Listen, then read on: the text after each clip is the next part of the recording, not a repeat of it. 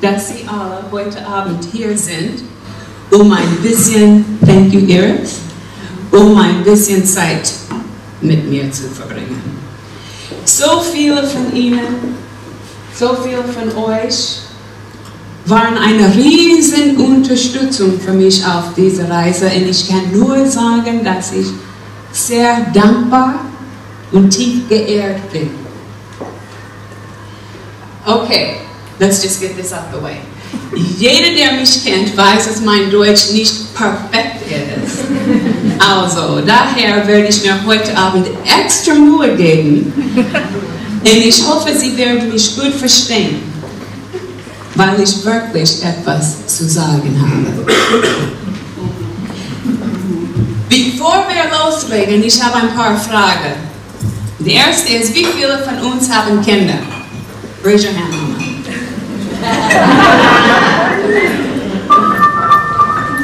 Wie viele von uns mögen Kinder?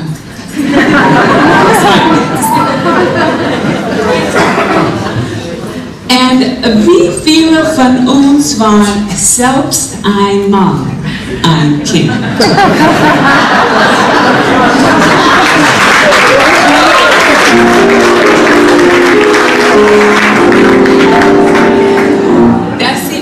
Alle, alle von uns und das ist gut für mich, weil das bedeutet, dass ich das richtige Publikum habe. Dieses ist eine Liebesgeschichte. Und jeder liebt eine Liebesgeschichte, oder?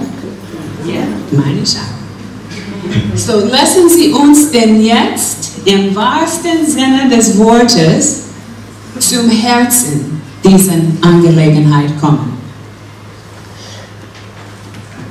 Ready? Ready. Here we go. Ich möchte Sie bitten, sich an etwas zu erinnern. Und zwar versuchen Sie sich an eine Situation zu erinnern, die Sie erlebt haben, in der Sie am meisten Angst hatten. Eine Situation, worüber Sie keine Kontrolle hatten und wo- wobei alles, was passiert ist, das ganze Ergebnis der Sache von jemand anderem abhängig war.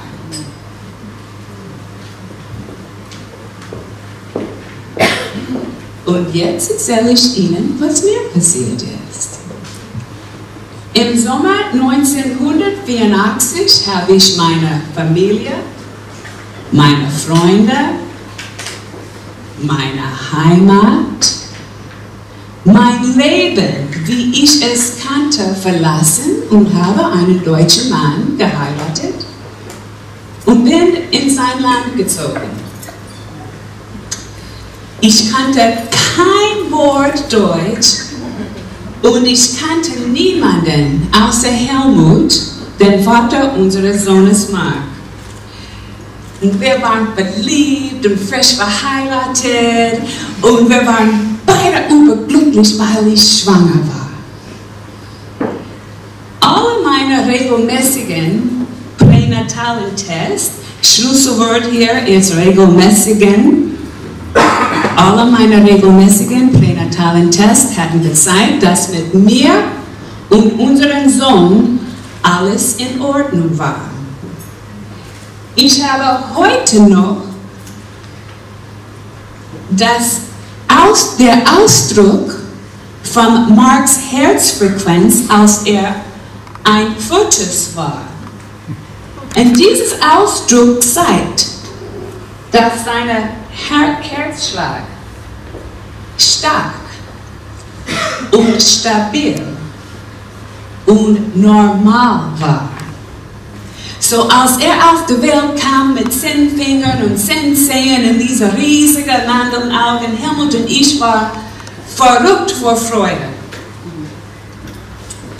Na, an dem Tag, als wir nach Marks Geburt aus dem Krankenhaus entlassen wurden, haben die Ärzte uns gesagt, dass sie für den folgenden Tag einen Termin Termin für uns vereinbart hatten im Kinderherzzentrum der Uniklinik Köln mit dem Chefkardiologen. Dieser Termin wurde gemacht, weil sie selber nicht sicher waren, ob unseren Sohns äh, Hautfarbe ein bisschen Blauton hatte und wenn ja, ob das sein konnte wegen meiner Hautfarbe. Well, ich war sicher, dass alles in Ordnung war. Ich wollte nicht zu diesem Termin gehen. Weihnachten stand vor der Tür und ich neu in diesem Land von Lebkuchen und Weihnachtsmärkten. Auf Wolke 7 mit meinem wunderschönen Baby. Ich war sicher, dass dieses Weihnachtsfest mein erstes Weihnachtsfest in Deutschland das herrlichste und großartigste Weihnachtsfest meines Lebens sein würde. Ja, und dann habe ich mir gedacht, dass es vielleicht doch besser wäre, diesen Termin wahrzunehmen. Es war sowieso nur eine Kontrolluntersuchung. Mindestens das haben die Ärzte Helmut versichert. Und so wir sind zu unserem Termin gegangen. Am nächsten Tag befanden Helmut und ich uns im Untersuchungszimmer mit dem Professor, der unseren Sohn untersuchte. Und ich wollte ihm so viele Fragen stellen, nämlich, um, kann irgendjemand uns, irgendjemand uns sagen, warum wir überhaupt hier sind? Werden alle deutschen Babys so untersucht? Äh, und wie oft haben Sie diese Untersuchung selber schon gemacht? Und warum dauert es so lange? Und wie lange dauert es denn noch? Aber ich habe mich nicht vertraut. Und dann plötzlich habe ich Gedanken gemacht über die korrekten Umgangsformen zwischen Ärzten und Patienten. Gab es sowas? Und wenn ja, wie funktioniert das? Sollte ich mit meinen Fragen bis nach der Untersuchung warten? Wäre es unhöflich, mittendrin nach Erklärungen zu fragen? Würde ihn das stören, irritieren, ärgern? Hm. Und dann gab es auch das Sprachproblem. Sprachproblem. Ich wusste nicht, ob er Englisch verstand und wenn nicht, denn dieser, habe ich ihn richtig verstanden?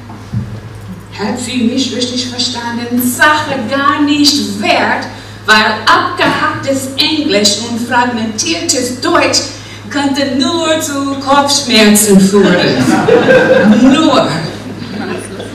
So, ich hatte keine Lust auf äh, äh, äh, Gym Gymnastik, Deutsch, Akrobatik, Deutsch-Englisch Akrobatik. So stattdessen habe ich mir gesagt, Tracy, Lesson in Ruhe, bleib, bleib still, es kann nicht mehr lange dauern, er wird sowieso sagen, dass alles in Ordnung ist und bleib ruhig, damit wir schneller fertig wird, damit wir schneller herauskommen können.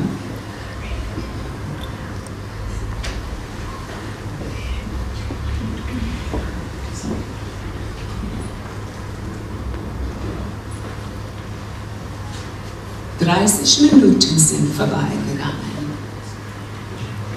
eine halbe Ewigkeit. Niemand hat ein Wort gesagt und ich wurde immer ängstlicher und ängstlicher. Ich erinnere mich, als ob es gestern war.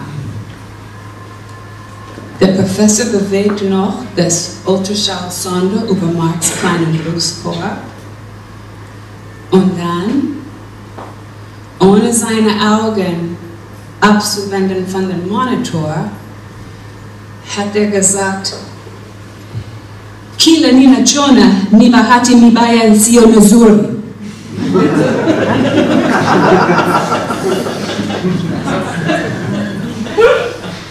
Ich war wehrlos gegen das kila ninachona ni bahati mibaya sio nzuri.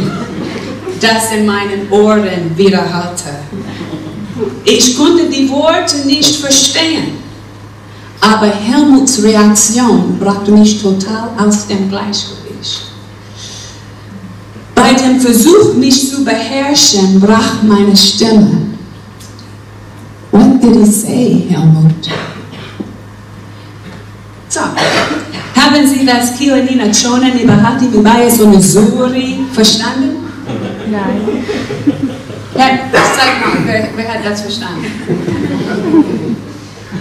Das ist genau wie es bei mir war. Das ist übrigens Swahili, für was der Professor tatsächlich äh, gesagt hat. Und ich benutze dieses Beispiel nur, dass ihr ein bisschen verstehen konntet, wie das war, gar kein Wort zu verstanden, wenn du in so einer seriösen Situation bist.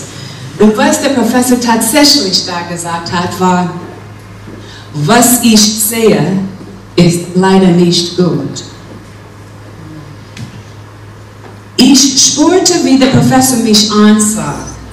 Spricht ihr Frau Deutsch? Helmut schüttelte den Kopf. Nein, sagte er. Und dann Helmut schaute mich an und flüsterte, something's wrong. Irgendwas stimmt nicht.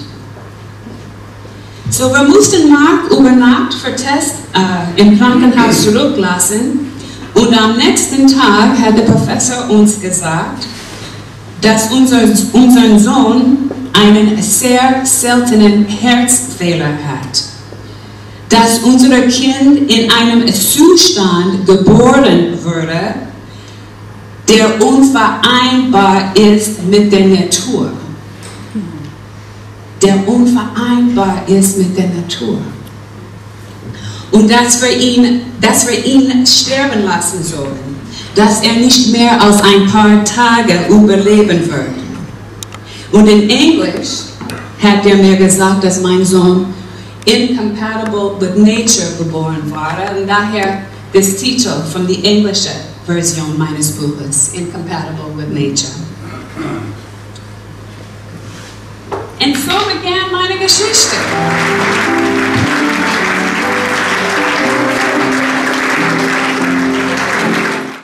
Tracy, die Premiere ist gelaufen. Du hast mir gesagt, du bist sehr aufgeregt. Wie geht es dir jetzt? Jetzt bin ich erleichtert, muss ich sagen. Die, ähm, das Abend war super. Ich bin wirklich zufrieden, wie mit alles abgelaufen ist, wie mein Sohn gesprochen hat, die Laune von den Leuten, wie die sich reagiert haben. Also, yay, I'm happy. Für diejenigen, die äh, jetzt nicht hier waren bei der Premiere, erzähl uns, wie war das 1984? Ja, 1984 habe ich meine Familie, mein Land verlassen und äh, habe einen deutschen Mann geheiratet und äh, bin in sein Land gezogen. Ich kannte niemanden, ich konnte die Sprache nicht sprechen und wir waren überglücklich, weil ich schwanger war. Und ähm, im selben Jahr habe ich unseren Sohn zur Welt gebracht und ähm, ich habe regelmäßigen ähm, äh, Checks gehabt und die haben alle bestätigt, dass alles in Ordnung war mit meinem Sohn. Und dann habe ich rausbekommen, und wir haben rausbekommen, dass er einen sehr seltenen Herzfehler hat und dass er nicht äh, mehr als ein paar Tage überleben wird. Und ich habe nicht aufgegeben zu glauben, zu kämpfen für sein Leben. Und heute ist er 32 Jahre alt. Was hat dir der Arzt damals genau gesagt? Der Arzt hat mir oder mein Mann genau gesagt, dass ähm, Mark wurde geboren in einem Zustand, der nicht äh, äh, geeignet war mit der Natur. Und was hat das in dir ausgelöst?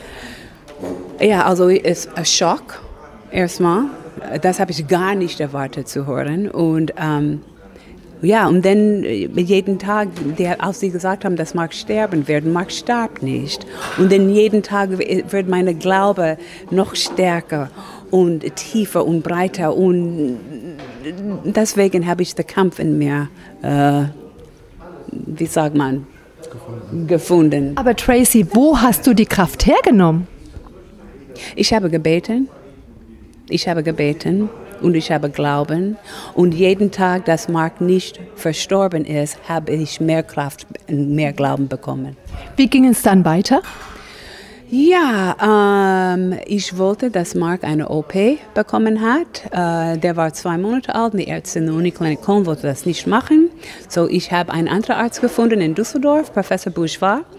Und innerhalb ein paar Tage hat Mark seine erste OP bekommen. Der war zwei Monate und sieben Tagen alt. Und dann der hat die zweite OP in Köln gehabt mit neun Monaten. Und dann, als er neun Jahre alt war, hat er das OP bekommen, das sein Leben richtig gerettet hat in New York. Uh, ich meine in Boston, um, from uh, einer der besten Kardiologen der Welt, Dr. Aldo Castaneda. Und ja, seitdem ist er noch am Laufen. Was würdest du sagen? Was hat Mark gerettet? Beides, du, beides. Natürlich das OP. Aber ich, ich bin sicher, dass wenn ich nicht geglaubt habe, dass Mark überleben konnte, irgendwie, irgendwie, trotz was die Ärzte gesagt haben, ähm, ich glaube nicht, dass das alles so gelaufen hätte, wie es ähm, gelaufen geworden ist. Wie wichtig war es für dich, dieses Buch zu schreiben, dich mitzuteilen?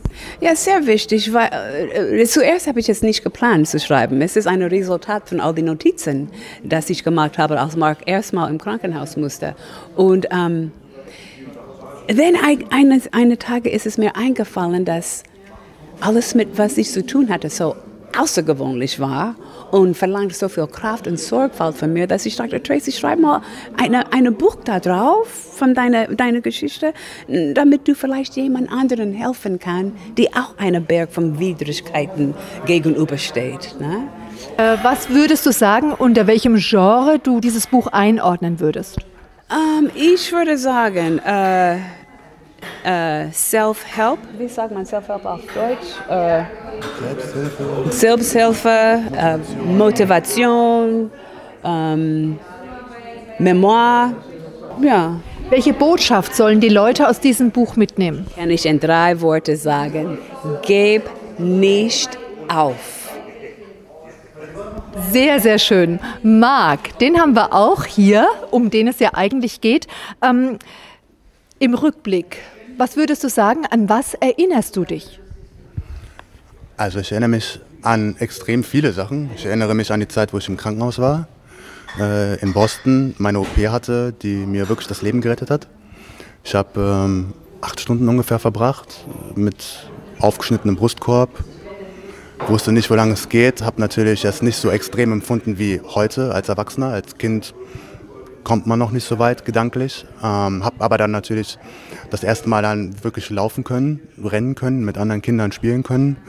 Habe das in der Schule natürlich extrem gemerkt dann, wie es voranging. Ähm, und es ist immer noch ein laufender Prozess bei mir. Ne? Also es ist äh, nicht so, dass ich dann jetzt komplett geheilt bin. Ich habe immer noch meine ein, zwei Medikamente, die ich nehmen muss, aber ich gehe drei, vier Mal die Woche zum Sport, mache alles und äh, mein Ziel war immer, dass es einfach nicht auffällt, dass ich einfach äh, für mich selber sagen kann, ich bin da mit drin, äh, nichts fällt auf. Ähm, und das hat mich einfach gestärkt. Also so dieser innere, äh, diese innere Motivation, die hat mich einfach gestärkt, äh, dahin zu kommen, wo ich jetzt bin. Und das ist das, äh, was wir eigentlich vermitteln wollen. Ähm, dass egal, äh, was für Probleme man hat, jeder hat Probleme, jeder hat Schwierigkeiten. Aber ähm, am dunkelsten ist die Nacht vor dem Tag, vor der Dämmerung und äh, die Dämmerung, die kommt, wenn man nur dran glaubt. Und äh, das ist die, die Essenz der ganzen Sache. Was würdest du sagen, was war der schönste oder vielleicht emotionalste äh, Augenblick äh, in dieser ganzen Zeit? Der emotionalste Augenblick, ich habe ehrlich gesagt gar keinen bestimmten. Ich glaube, einer davon ist natürlich der, wo ich wirklich das erste Mal laufen konnte, weil sich das einfach wirklich wie eine, wie eine Verwandlung anfühlt, einfach wirklich so wie eine, wie eine ähm, ja, Wiedergeburt im Prinzip. Ich sage das einfach immer gerne, weil das, ähm, das Leben davor ist halt dann wirklich sehr erschwert gewesen und äh, geboren zu sein, um zu sterben, ist so eine Sache, da muss man erstmal wegkommen. Ähm, aber das ist natürlich sehr prägend. Und äh, wie gesagt, das ist ein fortlaufender Prozess. Ich kämpfe weiter an mir. Und, ähm, du warst neun Jahre alt, Ich war neun Jahre alt. Äh, ich war natürlich, glaube ich, von, vom, vom Prinzip her immer sehr positiv einfach ausgerichtet. Immer, äh, also selten geweint, sehr, äh, selten irgendwie negativ eingestellt, sondern wirklich einfach immer positiv, immer geguckt, dass ich äh, das Beste draus ziehe. Und das hat mich bis heute be äh, begleitet. Und äh, das werde ich auch einfach weitermachen. Und so kann ich mir meine Träume erfüllen und mein Leben so leben. Wie stolz bist du auf deine Mom? Ja, meine Mom ist äh, natürlich ein Held, ist extrem, was sie alles gemacht hat. Ähm, ohne so eine Mutter, glaube ich, wäre das alles nicht ähm, passiert, so wie es passiert ist. Ähm, also großer Dank natürlich an meine Mutter, ähm, großer Dank auch an beide meine Eltern natürlich, großer Dank an die Ärzte, die mir ähm, das Reden, das äh, Leben gerettet haben. Ähm, Dr. Ale Castaneda ist unfassbar. Ich wünsche dem Herrn, dass der 3000 Jahre alt wird und seine Familie auch, ähm, weil das hat er wirklich verdient. Der ist immer noch ähm, in, in Projekten involviert und hilft Kindern, die vielleicht auch die, nicht die finanziellen Möglichkeiten haben, ähm, dass sie auch ein lebenswertes Leben haben. Und das ist so eine Sache, die hat, glaube ich, jeder, der ja hier auf die Welt kommt, einfach verdient, einfach dieses lebenswerte Leben ähm, zu leben, was für die meisten einfach selbstverständlich ist. Das ist wohl wahr. Und ich danke euch wirklich und wünsche euch von Herzen alles, alles Gute. Herzlichen, herzlichen Dank. Danke, danke.